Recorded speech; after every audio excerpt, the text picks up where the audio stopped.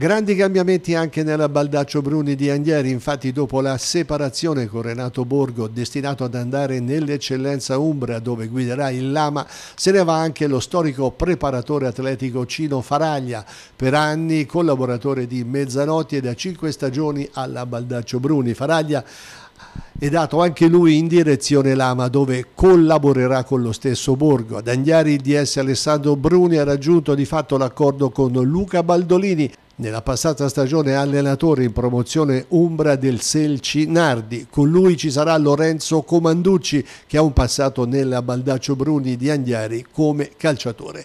Per certi aspetti Bruni ripercorre la stessa strada di un anno fa quando andò a Montone per accordarsi proprio con Borgo. Per Baldolini che vanta una solida esperienza nei settori giovanili della zona è un salto importante in un campionato molto delicato. In casa della Baldaccio Bruni adesso il primo obiettivo sarà quello di capire il futuro del giovane puntero autorità che potrebbe andare a Città di Castello.